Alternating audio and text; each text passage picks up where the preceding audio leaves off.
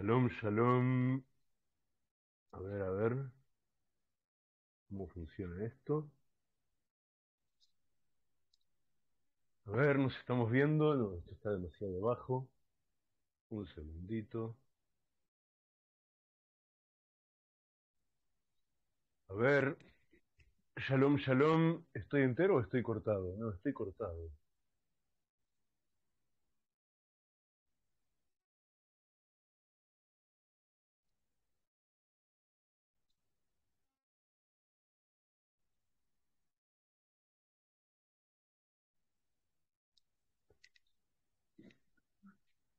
Bueno, shalom, shalom. A ver, ahora se me ve entero.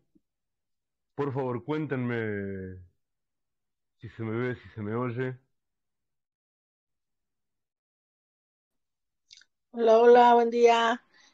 Hola, Sí, se- hola. pero se ve pixeleado y sí se oye. Baruch Hashem. Este, lo de pixelado, no hay nada que se pueda hacer al respecto. Supongo que viene de la combinación de, de mi conexión y las vuestras y demás. Esperemos que se corrija. Bueno, ay, cómo extrañaba hacer esto. Eh, Javerim, shalom, shalom a todos, a los presentes y a los que vean esto luego. Estamos aquí adentro de mi camarote de proa, en el barco pirata. Como pueden ver, hay cuatro mechas encendidas en este instante en nuestro candil. Eh, cuatro mechas para la elevación de cuatro almas queridas. Y hay una mecha más preparada que al cabo de nuestro estudio vamos a encender en honor de Akavia ben Mehalal El. Quiero contarles acerca de Akavia ben Mehalal El. Quiero contarles acerca de él porque es un sabio de la época de la Mishnah. Es un sabio de la época de la Mishnah que aparece citado muy pocas veces. Y las muy pocas veces que aparece citado alcanza para sintetizar una Torah completa. Hay alguien con micrófono abierto que me está haciendo ruido en el auricular. Eh, entonces, entonces vamos a empezar por aquí. Acabia ben Mehalal él vivía en la época de los sabios de la Mishnah, donde estaban intentando, tras la, destrucción del, Beit HaMikdash, en esos tiempos, estaban intentando resumir la Torah que había en manos de ellos. Estaban construyendo y ordenando lo que se llama la Torah Shebealpé, la Torah oral, la Torah oral que incluye dentro de sí todas las interpretaciones y las normas a las leyes de la Torah. Y por consiguiente, la mayor parte de las discusiones no tenían que ver con eh, procedimientos lógicos, con razonamientos, sino más bien con a quién le había llegado la versión más correcta, la versión más genuina de la ley que queríamos ordenar y pasar hacia adelante. Y había cuatro, lo que se llaman mahlokot, cuatro diferencias, cuatro puntos irreconciliables entre Akabia ben Mehalal y la mayoría de los sabios. Y por supuesto la halajá, la norma, se define de acuerdo a la mayoría. Se cuenta que había cuatro puntos de la halajá en los cuales todos los sabios decían la interpretación que nos llegó dice así, y Acabia ben Mehalalel decía, la interpretación correcta es tal como me llegó a mí, y es así, al revés que como dicen ustedes. Y a lo largo de toda su vida, el resto de los sabios intentaron convencerlo de que renunciara a la masloque, que renunciara a la discrepancia, incluso para que fuera, fuera unánime la interpretación. Incluso llegaron a ofrecerle un cargo de gran juez en Jerusalén, eh, un cargo muy importante y de enorme honor y de enorme cabod. a cambio de que él resignara sus discrepancias con el resto de los sabios y pudieran decir que determinaron la norma de modo unánime. Y él se negó, se negó siempre toda la vida a resignar sus discrepancias. Y decía, decía en público que antes prefería pasar por un tonto, pasar por un necio, que despertar sobre sí la menor sospecha moral. Se cuentan de él dos, dos pronunciamientos muy importantes que expresó mientras agonizaba en la conversación que tuvo con su hijo. Su hijo se sentó al lado de su padre, que se preparaba a morir, y el padre, primero que nada, ordenó a su hijo, una vez que yo muera, resigna tú esas cuatro discrepancias que he mantenido toda la vida con los sabios. O sea, tú acepta la idea de ellos y deja que consideren unánime a partir de mi muerte el modo en que ellos determinan la alajá. El hijo se sorprendió mucho. ¿Cómo, papá? ¿Cómo quieres que yo resigne tu discrepancia en la alajá? ¿Por qué no lo hiciste tú entonces? Y el padre le contestó, hay dos razones. La primera es que ellos recibieron su interpretación de tantos y tantos sabios que les precedieron. También yo recibí mi interpretación de tantos y tantos sabios que me precedieron. De tal modo, la discrepancia no era entre yo y ellos, era entre tantos y tantos sabios que opinaban así y tantos y tantos otros sabios que opinaban así. Ahora que yo me voy y viene tu generación a cambiarme, ahora la discusión ya no es muchos contra muchos, porque la opinión de ellos tú la sigues oyendo de todos ellos, en tanto la mía la has oído solo de mí. Entonces para ti ahora sí es una discrepancia de muchos contra uno. Y en esas discrepancias, cuando es de muchos contra uno, ganan los muchos. Hay que darle la razón a los muchos. Pero tengo otra razón por la cual yo no resigné mis ideas, hijo mío. Y es que me ofrecieron ser gran juez. Y caramba, si yo cambiaba de idea y entonces me nombraban gran juez, ¿no iba a despertar suspicacias morales acerca de mi persona? ¿No iban a hacer todo quien oyera la historia de cómo ocurrió esto? ¿No iban a hacer uno más uno y decir, ah, entonces él cambió sus principios, cambió su opinión en cuanto a la ley para hacerse de un cargo de honor? de ninguna manera podía permitirlo. De modo que me voy con mi moral limpia y te dejo a ti que resignes, que resignes mis discrepancias con el resto de los sabios. Yo confío en que ustedes están ahí todavía, porque yo la verdad en este momento estoy a casi dos metros del teléfono por el que estamos transmitiendo. Así que si quieren hacer alguna señal auditiva, incluso decirme que de verdad siguen ahí, me siguen viendo y me siguen oyendo, va a ser muy tranquilizador. Sí, seguimos aquí, seguimos oyendo, seguimos viendo. Baruch Hashem, Baruch Hashem, qué maravilla. Yo estoy menos concentrado de lo que quisiera, pero me parece que, que todo esto es muy importante. Sobre todo porque seguimos adelante en la conversación entre Akabia Ben Mehalel y su hijo, al borde de la muerte. Y entonces su hijo le pidió, Padre, ordéname con tus amigos. Traducción. Dile al resto de los sabios que me consideren y que me sienten entre ellos, que me tomen por uno más entre ellos ahora que tú te vas. El padre le respondió, no voy a hacer eso. no te voy a dar esa suerte de recomendación especial que me pides. El hijo se sorprendió y se sintió dolido y le preguntó, pero, pero ¿por qué, padre? ¿Acaso ves en mí algo malo que no merezco? Y su padre le respondió, no lo quiera Dios. No te voy a dar esa recomendación, porque lo correcto es, atención, voy a decir la frase en hebreo y lo voy a traducir inmediatamente al español. Maaseja y carbuja, bemaaseja irjacuja. Tus acciones te van a acercar y tus acciones te van a alejar.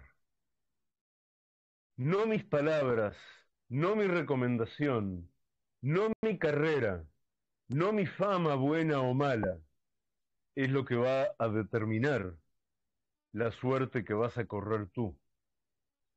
Traducido a tantas otras circunstancias posibles, no mi dinero, no mi prontuario, no mis méritos, no mis propiedades, no mis relaciones. Nada de eso es lo que va a determinar tu vida, sino que tus acciones te van a acercar a donde estés preparado para ser acercado. Y tus acciones son las que te van a alejar de donde no debes estar cerca. Y esta pronunciación de Akabiab en Mehalalel, que en la Torah oral la encontramos dos veces más, la encontramos una vez en el Midrash, en boca de Rabí Akiva, que hay un paralelismo muy claro, porque no hay otro Akiva y no hay otro Akabiá, y se escriben ambos con las mismas letras, con una sola inversión de orden de dos de ellas.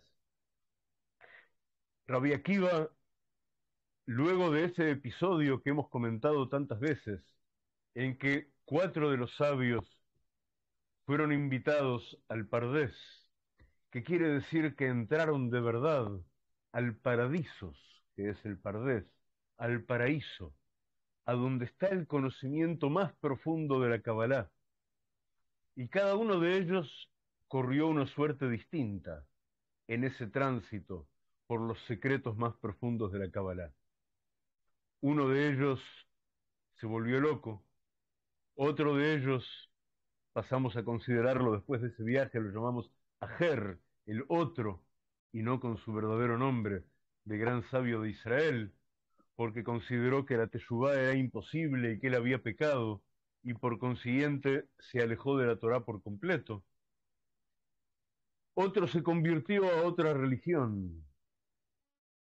Rabí Akiva entró y salió con Shalom.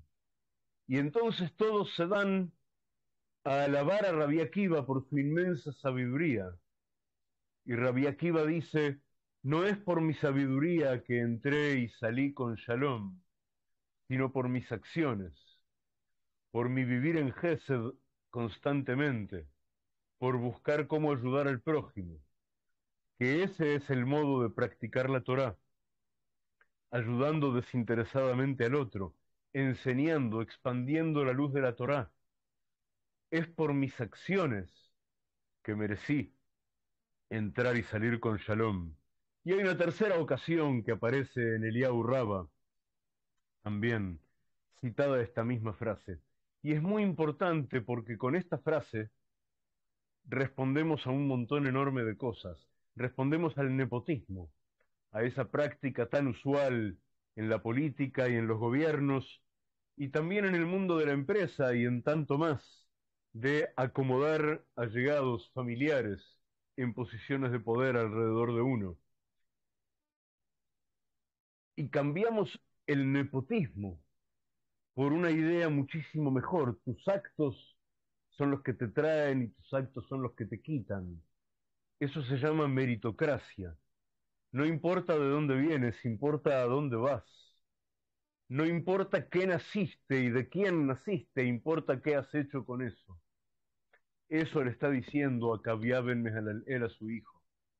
No es mi herencia la que te va a hacer rico, esto, esto tiene tantas aplicaciones porque es tan archisabido, eh, es, eso, es, es, eso tan común de, del hijo que recibe una gran herencia y, y, en poco tiempo es un hombre pobre, porque no sabe qué hacer con, con toda esa fortuna y, y, entonces la dilapida, como, como el caso estadístico de, de la persona de bajos recursos económicos que se gana la lotería y estadísticamente en general al cabo de un par de años es mucho más pobre de lo que era antes y está horriblemente endeudado por mucho más que lo que ganó en la lotería.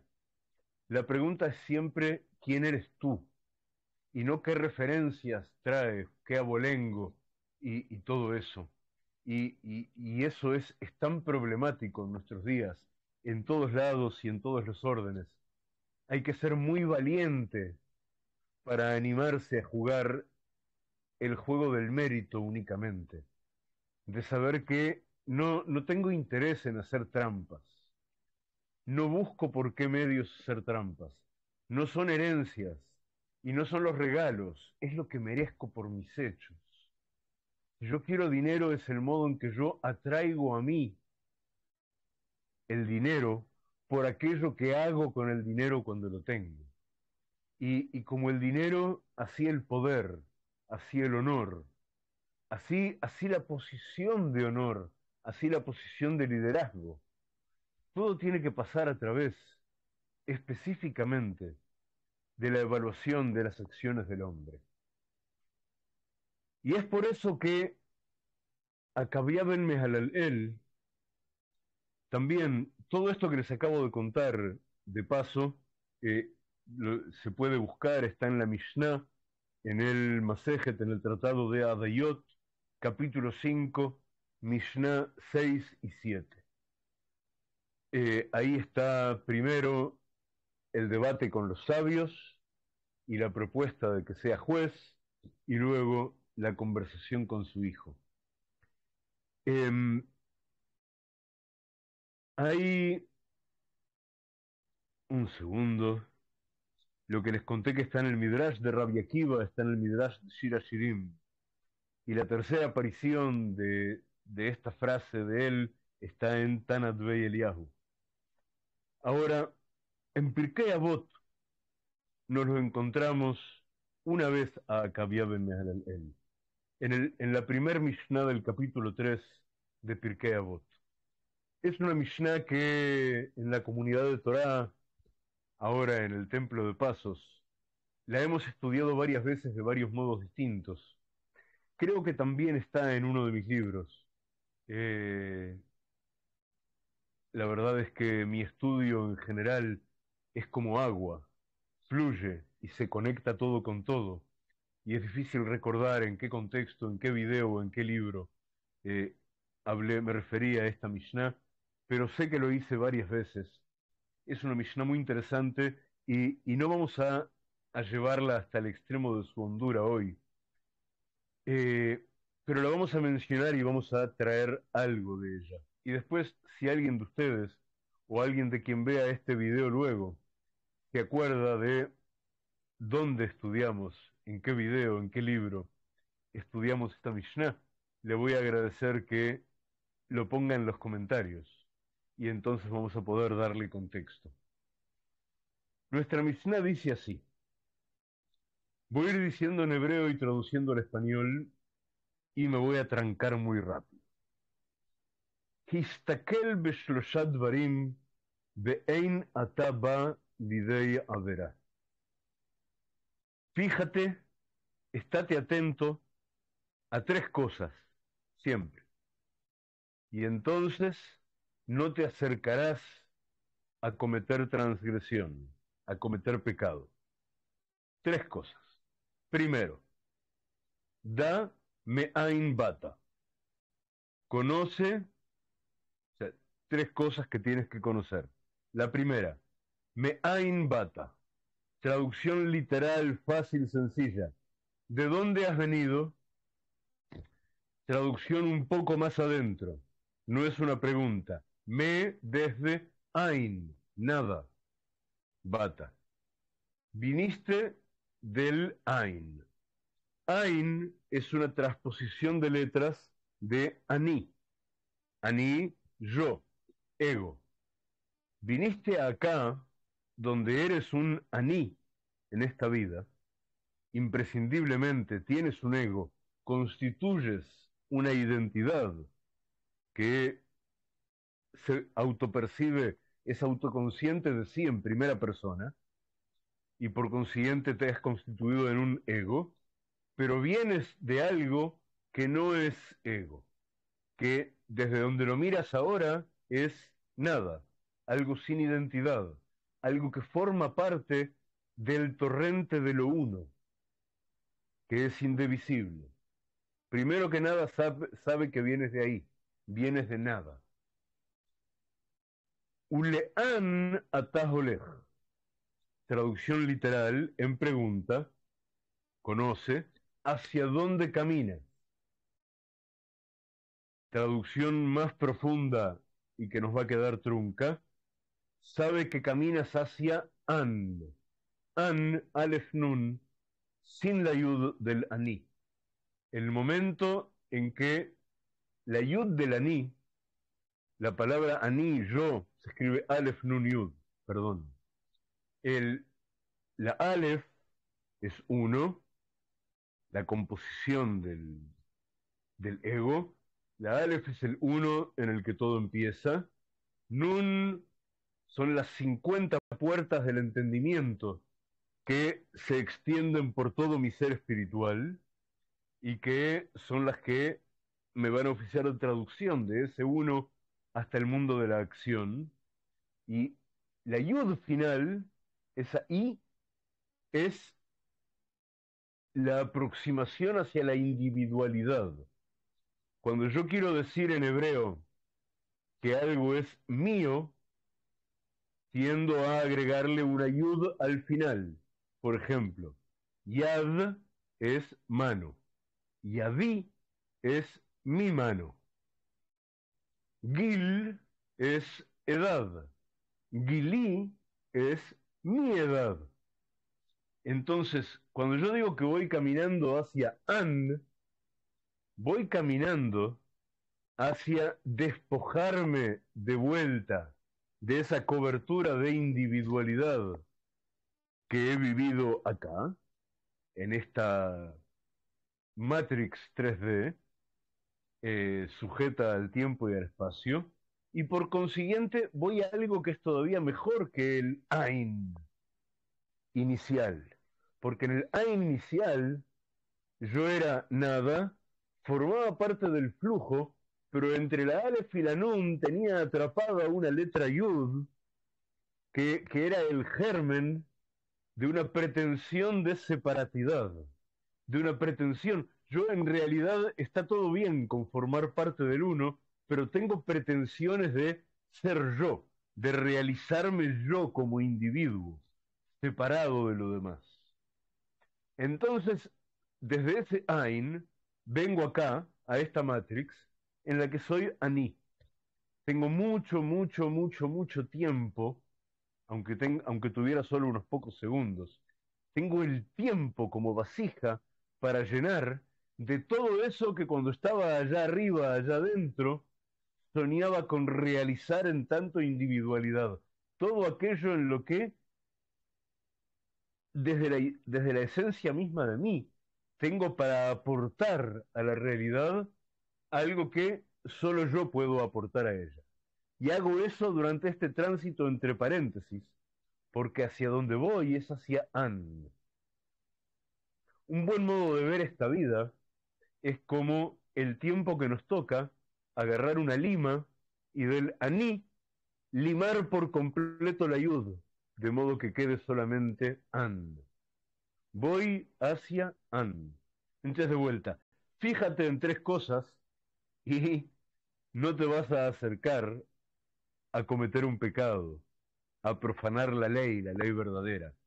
La primera que vienes de an, vienes de esa nada y si te quejas de lo que te pasa en este mundo, te pasa esto en este mundo porque tú querías encarnar acá, tú querías ser un yo y eso no está mal, porque era el único modo en que lograras sacar de ti lo que es único en ti y pudieras convertirlo en algo que tiene existencia. tiene existencia real, así como el creador crea el mundo de esta vastísima multiplicidad para poder convertir en realidad todo lo que es posible en su mente infinita. Vengo de ahí, vengo del Ain, voy hacia el An una vez que haya logrado pulir esa yud. Si no la logro pulir, la yud obviamente se cae de mí en el momento de la separación del alma respecto del cuerpo, pero no voy a haber hecho el tikkun. Me voy a caer como un saco de papas en el An y solo me voy a preparar para otra vuelta más de lo mismo.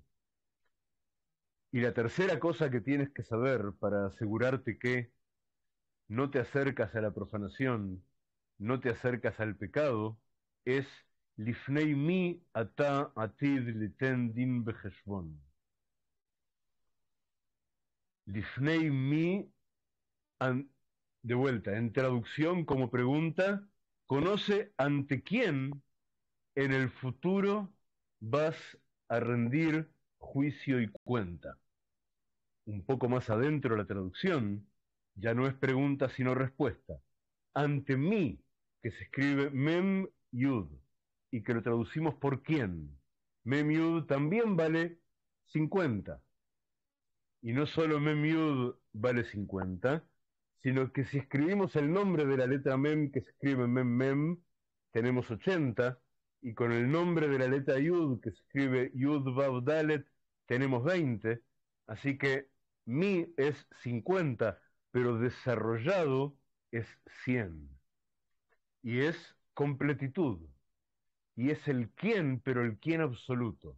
Ante el único verdadero quién, el quién uno de todos los unos, es que vas a rendir juicio y cuenta en el atid, en el futuro.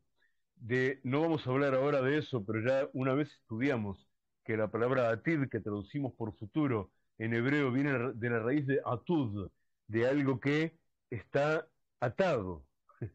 es notable porque es, igual que en español.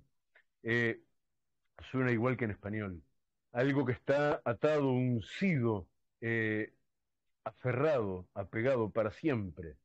Entonces, es en el futuro, pero e, ese futuro en realidad está, está agarrado de tu presente. Ese futuro en realidad se, produce con quien estás siendo ahora.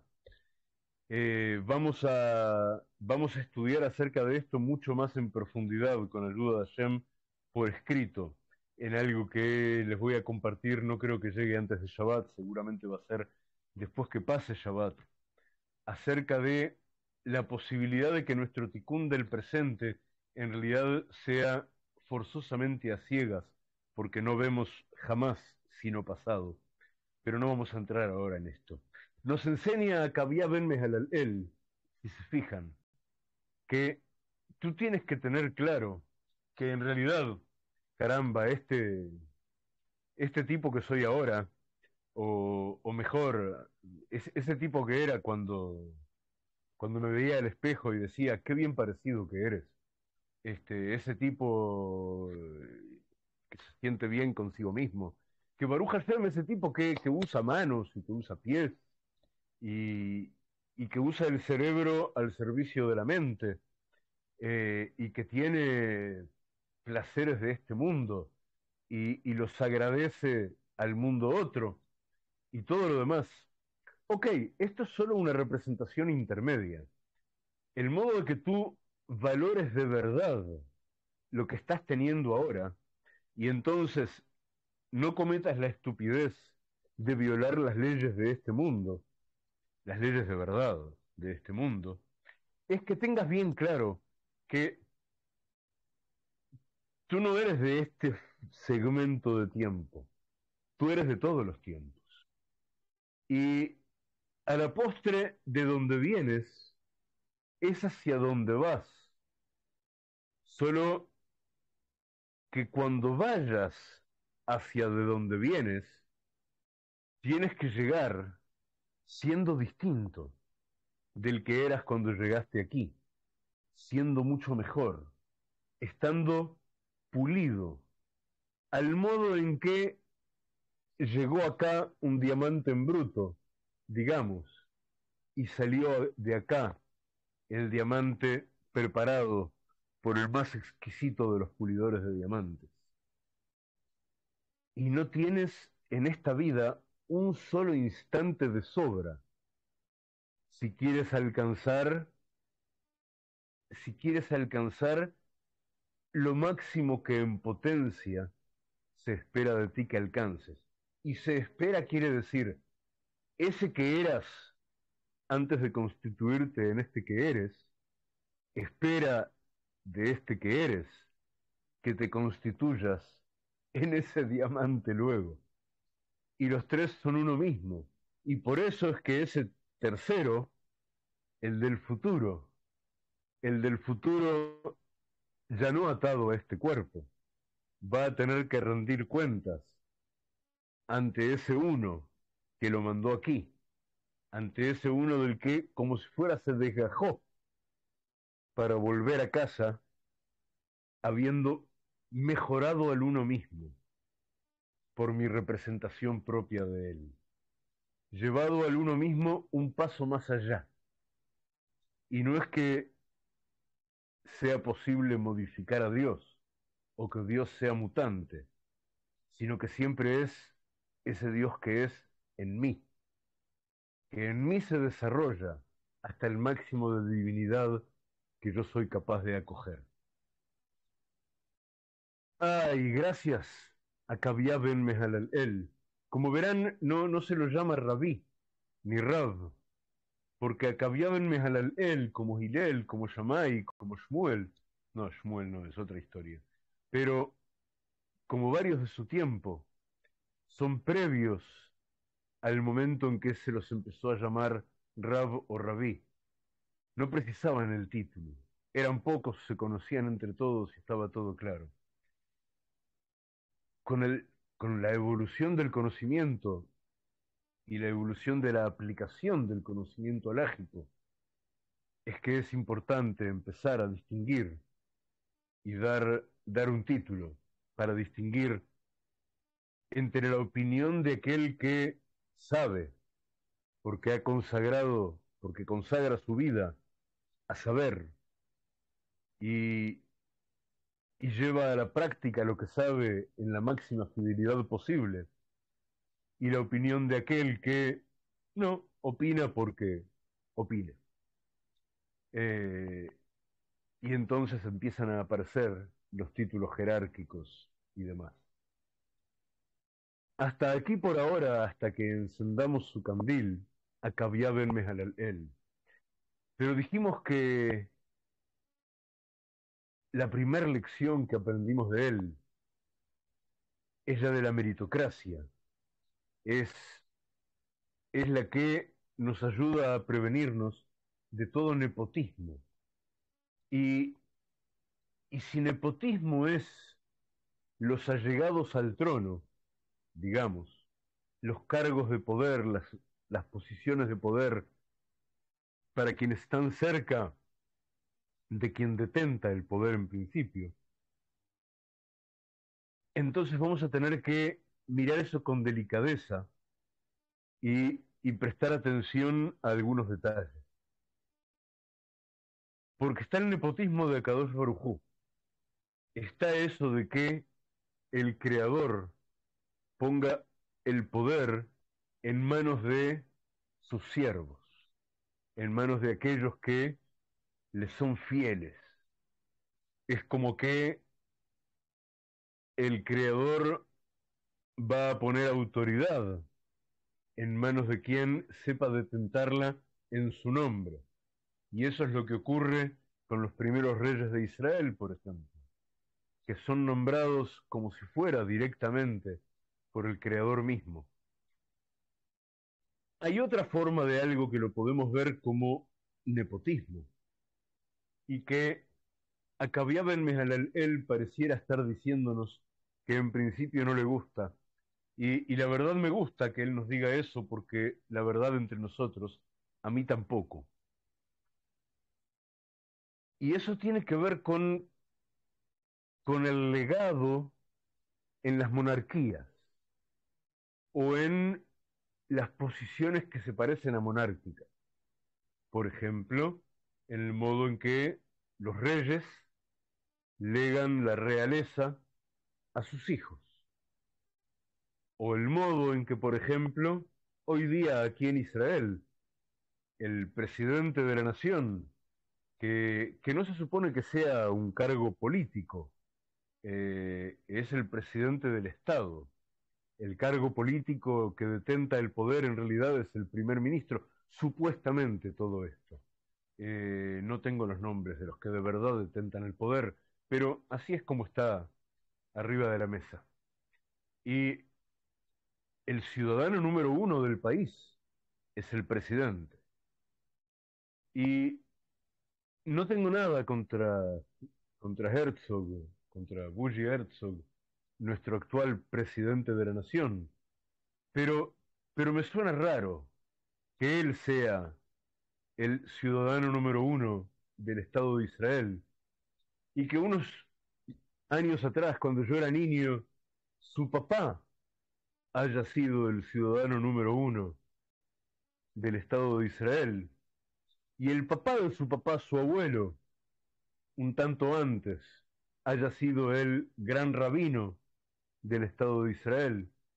Y, y no sé, y yo creo humildemente que si yo estuviera en el lugar de él, no habría querido ser presidente. Pero, pero no importa, no, no lo voy a juzgar, así funciona todo y tengo la impresión de que es un buen tipo. Pero obviamente no es meritocracia lo que estamos viendo. Y ocurre lo mismo desde los tiempos del Baal Shem Tov en las dinastías hasídicas. El rebe de una corriente hasídica, en general, es tratado por sus hasidim al modo de un monarca. Y eso no está mal. Y lo hemos comentado esto. Y, y a su grey, o sea, al conjunto de sus hasidim y sus familias, y, y, la riqueza que tienen, y, y, todo lo demás, y lo que les rodea, se le llama la mamlajá, el reinado del rebe. Y, y en general, en la mayoría de las Hasiduyot, el plural de Hasidut, en la familia, en la mayoría de las familias corrientes hasídicas, cuando un rebe parte de este mundo, el que lo sigue es su hijo, incluso si su hijo tiene nueve años, este, por ejemplo, y a veces es más de un hijo, como vimos hace unos días cuando estudiamos la Torá de Rabí Yekusiel y Judá, el rebe de Tzanz, que cuando él partió de este mundo, su Hasidut se dividió básicamente en dos, lideradas por cada uno de sus dos hijos, uno en Williamsburg y el otro aquí en la ciudad de Natania. Y, y de pronto tiene sentido que, este es el otro lado de la moneda.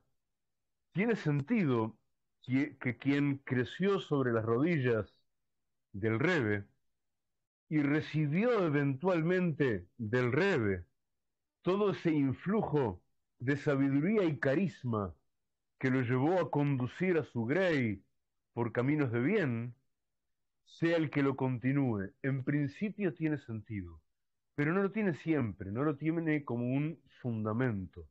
Y por ejemplo, esto también lo estudiamos juntos hace mucho, hace mucho tiempo, como fue en el caso de Rabí Abraham Yoshua Heschel, que tenía que convertirse en Rebe, creo que antes de su edad de bar mitzvah, antes de los 13 años incluso, con la muerte de su padre.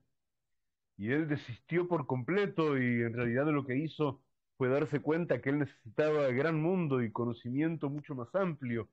Y en vez de eso se fue a completar educación secundaria, bachillerato y a estudiar filosofía en Berlín. Y cuando terminó su doctorado en filosofía en Berlín, fue cuando empezó, estaba empezando el, el nazismo a gobernar y a último momento abandonó y hizo toda su obra un rabo, un sabio de Israel increíble, la hizo en Estados Unidos, no siendo rebe de ninguna corriente jasídica, pero siendo el rebe de un montón enorme de judíos. Y yo me lo perdí, ¿se dan cuenta? Este falleció en los 90 y yo ni siquiera sabía que existía. Eh, aterricemos. Entonces, como les comenté por escrito en estos últimos días, me encontré con otro caso, otro caso muy cercano, que también desistió en nombre del bien, en nombre de hacer bien. Hay una Hasidut, una Hasidut muy pequeña, que nació en los años 40 del siglo XX, alrededor de un libro publicado por un rab muy grande, de apellido Roth, ahora se me fue el nombre de la cabeza, el rab es conocido por el nombre de su libro, Shomer Munim, el guardián de la fe y o de la fidelidad. Eh, un libro que fue escrito para tratar de ayudar a todos los judíos en Europa que estaban pasando lo que estaban pasando. Y es un libro escrito para reforzar la certeza de que todo es para bien, incluso lo que te rompe la cabeza que es malo, de que Hashem está al timón de todo, aunque yo no sepa explicármelo, de que hay ashgajá, hay supervisión, y hay momentos en los cuales yo no hay nada que pueda hacer que no sea aceptar con amor y exprimir luz de lo que haya. Y entonces este Rab Roth escribió este libro y algo que no sé si hay algún otro caso en la Hasidut, no que yo lo sepa, pero se formó una Hasidut que lo tuvo a él por Rebe alrededor de su libro. Y él se constituyó en Rebe de esa Hasidut. Esa Hasidut reside hoy día mayormente, si no me equivoco, en la ciudad de Bnei aquí en Israel. Y de pronto, unos años atrás, le tocó al veinteañero bisnieto del autor del Shomer Munim convertirse en el rebe de la Hasidut.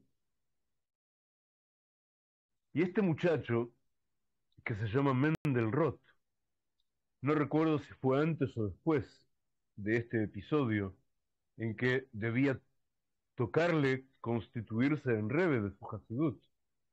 Antes de eso le tocó contraer matrimonio, al modo en que contrae matrimonio el hijo de un rebe, y por consiguiente lo casaron con la hija de otro gran Talmid Jajam, la hija de otro gran sabio, de Mea Shearim, una, una chica muy buena eh, y, y maravillosa, según cuenta él mismo, pero que no tenía absolutamente nada que ver con él, y tuvo que ser muy valiente para deshacer ese matrimonio al cabo de pocos meses.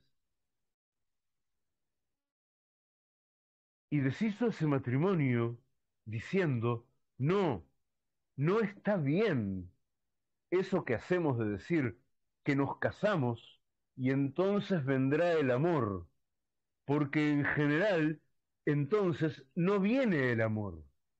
Tiene que haber correspondencia entre las almas, a priori, para que venga el amor. Y yo, dijo, yo no quiero meramente casarme porque tengo que cumplir con una mitzvah de tener hijos y criarlos y darles una educación y constituir un hogar. No, yo quiero casarme enamorado como Jacob estaba enamorado de Rachel, como Itzhak amó a Rivka. Yo quiero estar enamorado como David estuvo enamorado de Bathsheba. Quiero estar enamorado como el novio que declama el cantar de los cantares. Mendel Roth tiene ahora 31 años hace TikTok, hace YouTube, enseña Torah desde la dulzura de toda la Torah hasídica que aprendió, que mamó desde bebé. Sigue estudiando Torah como un hasid, sentado en la yeshiva, y canta, canta con todo el corazón. Y, y, no solo canta con todo el corazón, y os, espero os habréis dado cuenta del puente analógico entre Akabiab y Mehalalel, diciendo no al nepotismo, no a la heredad de la monarquía, forzosa al menos. A veces no es lo que tiene que ser. La relación entre eso y el dulce de Mendelrot, que hace muy poco, y yo no sabía nada de eso, tenía que ocurrir que mi amigo y jabruta y maestro, Rabariel Don, estuviera acá en mi casa hace unos días, y él viene y me cuenta las cosas que pasan en el gran mundo. Este, y parece que hay un gran revuelo, sobre todo en el mundo jaredí, en el mundo, en el mundo rabínico de blanco y negro, desde que hace unos meses Mendelrot se atrevió a escribir una canción de amor. Y no solo escribir una canción de amor y componerle música y cantarla, sino hacerlo ni siquiera en hebreo, en el idioma en el que los cantantes del mundo laico cantan sus canciones. No, lo hizo en yiddish, en el, en, en, el, en el idioma de los judíos del este europeo, en el idioma que los hasidim siguen hablando entre ellos hasta el día de hoy, y la mayoría de los que están alrededor no entienden nada. En yiddish escribió una canción y, más tarde, eventualmente, esto sí lo voy a compartir con todos en la tertulia, con ayuda de Hashem. Escribió una canción en Yiddish que dice, yo quiero amar a una muchacha judía. Yo quiero amar como David a Bathsheba, como Itzhak a como Jacob a Rachel. Yo no quiero conformarme con hacer una mitzvah. Yo quiero amar. Y es tan hermoso el paso que dio, el doble paso que dio.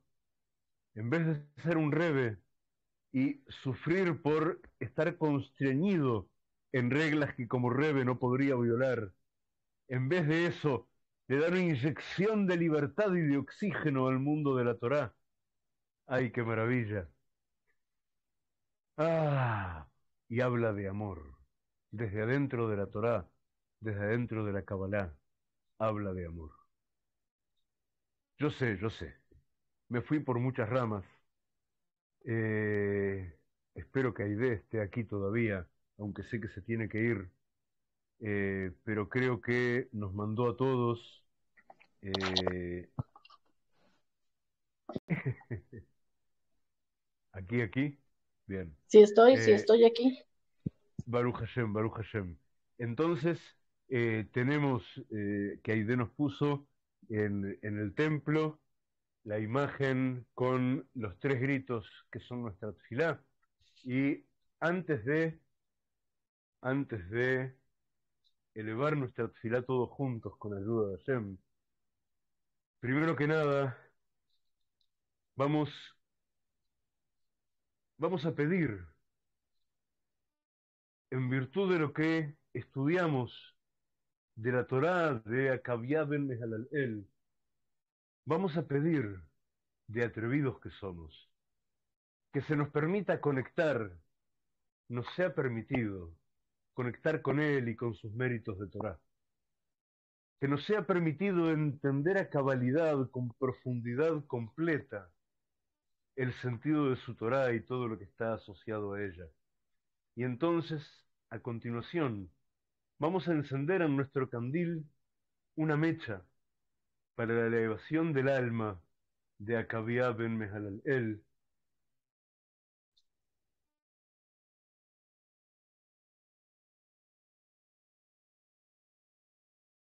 y vamos a pedir a Hashem que nos permita de este modo,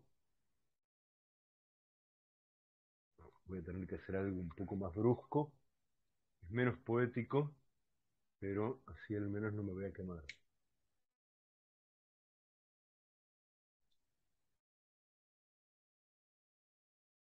Yui Nishmat, Akavia, Ben Mehalal El.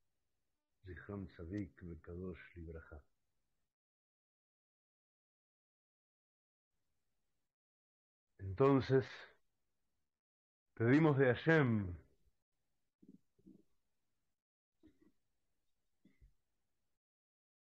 que nos permita elevarnos en tefilá, asociándonos, conectándonos conectando nuestra tefilá con la Torá de Akabia ben Mehalel y que con la Torá de Akabia ben Mehalel en conexión con su Neshama sagrada, lleguen nuestras plegarias a abrir los cielos y ante el trono sagrado y sean recibidas para bien.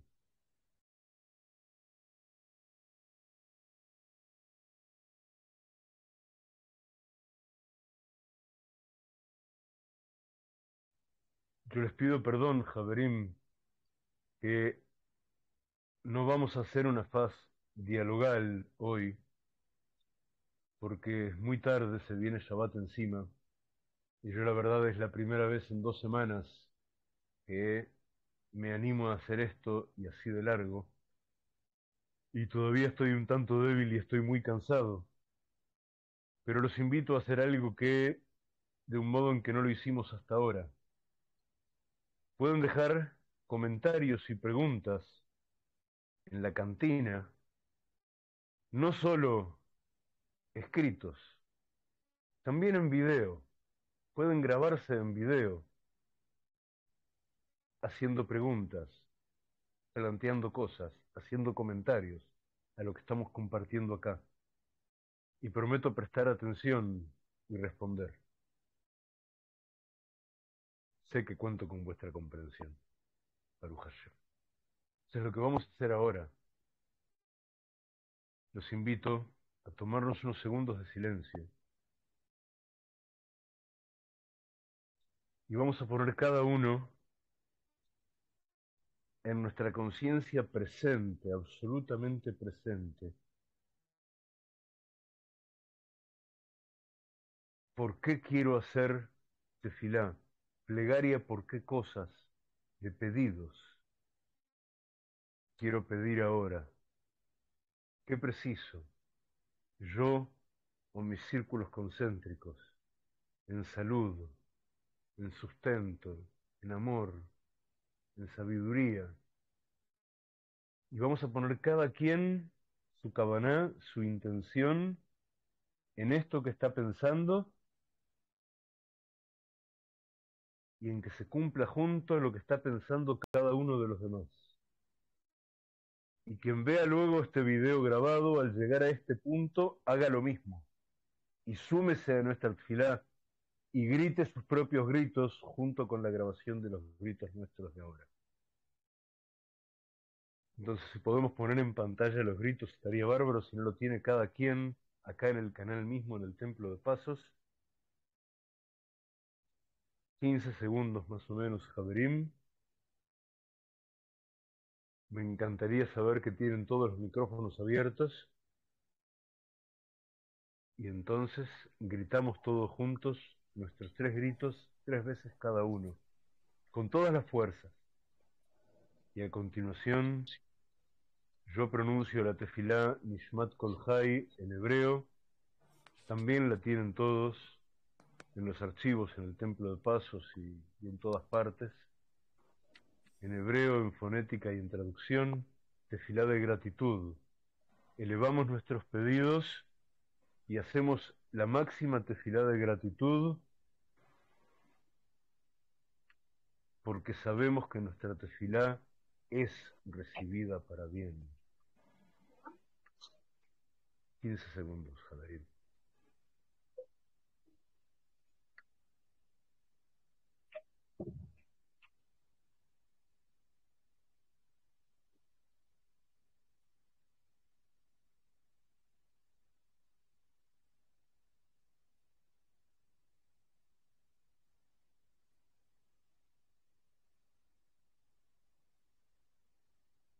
Vengan conmigo. El narrefana. El narrefana.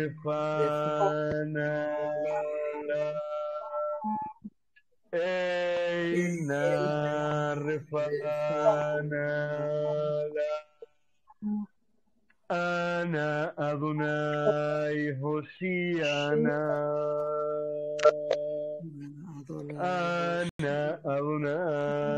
Hoshiana. Ana Adonai Hoshiana. Ana Adonai Hoshiana. Ana Adonai Hatzlichana. Ana Adonai Hatzlichana. Ana Adonai Hatzlichana.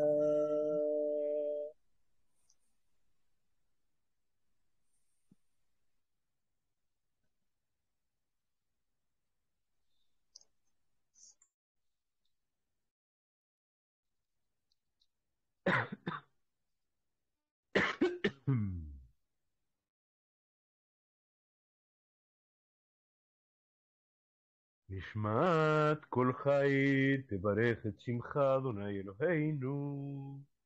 ורוח כל בשר תפאר ותרומם זכרך מלכנו תמיד מן העולם ועד העולם אתה אל ומבלעדיך אין לנו מלך גואל ומושיע פודה ומציל ומפרנס ועונה ומרחם בכל עת צרה וצוקה אין לנו מלך עוזר וסומך אלא אתה. אלוהי הראשונים והאחרונים אלוהי הכל בריות אדון כל תולדות המהולל בכל התשבחות המנהג עולמו בחסד ובריותיו ברחמים ואדוני ער הנה לא ינום ולא יישן. המעורר ישנים והמי קיץ נרדמים המי שיח אילמים ומתיר אסורים והסומך נופלים והזוקף כפופים והמפענח נעלמים. ולך לבדך אנחנו מודים. ואילופינו מלאי שירה קיים ולשוננו רינה כהמון גליו ושפתותינו שבח כמרחבי רקיע. ועינינו מאירות כשמש וכירח וידינו פרוסות כנשרי שמיים. ורגלינו קלות כאיילות אין אנחנו מספיקים להודות לך אדוני אלוהינו ואלוהי אבותינו ולברך את שמך מלכנו על אחת מאלף אלף אלפי אלפים בריבי רבבות פעמים הטובות ניסים ונפלאות שעשית עם אבותינו ועמנו מלפנים ממצרים גאלתנו אדוני אלוהינו ומבית עבדים פדיתנו ברעב זנתנו ובשובע קלקלתנו מחרב הצלתנו מדבר מילתתנו מחולואים רעים ורבים ונאמנים ביליתנו עד הנה. עזרנו רחמך ולא עזבונו חסדיך אדוני אלוהינו. ואל תצאנו אדוני אלוהינו לנצח. על כן איברים שפילגת בנו ברוח ונשמה שנפחת באפינו בלשון אשר שמת בפינו פן הם יודו ויברכו וישבחו ויפוארו וישרו וירוממו ויעריצו ויקדישו וימליכו. את שמך מלכנו תמיד כי כל פה לך יודה וכל לשון לך תשבע וכל עין לך תצפה וכל ברך לך תכרע וכל קומה לפניך תשתחווה וכל הלבבות יראוך וכל קרב וכליות יזמרו לשמך כדבר שכתוב כל עצמותי תאמרנה אדוני מי כמוך מציל עני מחזק ממנו ועני ואביון מגוזלו. תבעתני אם אתה תשמע צעקת הדל תקשיב ותושיע מידמלך ומישבלך ומיערוך לך. האל הגבול הגיבור והנורא אל עליון. קונה שמיים בארץ נהללך ונשבחך ונפארך ונברך את שם קודשך כאמור לדוד ברכי נפשי את אדוני בכל קרבי את שם קודשו האל ותעצומות עוזך הגדול בכבוד שמך הגיבור לנצח והנורא בנוראותיך המלך היושב על כיסא רם ונישא, שוכן עד מרום וקדוש שמו, וכתוב רננו צדיקים באדוני לישרים נאווה תהילה, בפי ישרים תתרומם ובשפתי צדיקים תתברך, ובלשון חסידים תתקדש, ובקרב קדושים תתהלל, ובמקהלות רבבות עמך בית ישראל. ברינה יתפאר שמך מלכנו בכל דור ודור, שכן חובת כל היצורים לפניך אדוני אלוהינו ואלוהי אבותינו. להודות, להלל, לשבח, לפאר, לרומם, להדר, לנצח, לברך, להעלה ולקלס על כל דברי שירות ותשבחות. דוד בן ישי עבדך משיחך, ובכן נשתבח שמך לעד מלכנו, האל המלך הגדול והקדוש. בשמיים ובארץ, כי לך נאה אדוני אלוהינו ואלוהי אבותינו לעולם ועד. שירו שבחה הלל וזמרה עוז וממשלה נצח, גדולה וגבורה, תהילה ותפארת, קדושה ומלכות, ברכות והודאות, לשמך הגדול והקדוש, ומעולם ועד עולם אתה אל.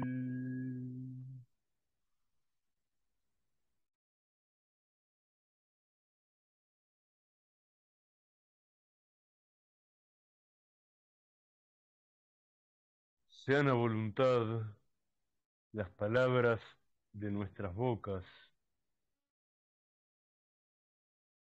y la razón de nuestros corazones está ante ti, Adonai, nuestra roca, punto fijo y salvador.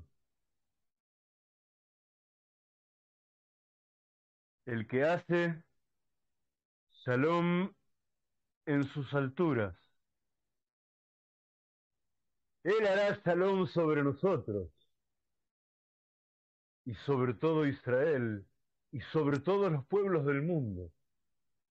Y digamos, amén. Amén. Amén. Amén.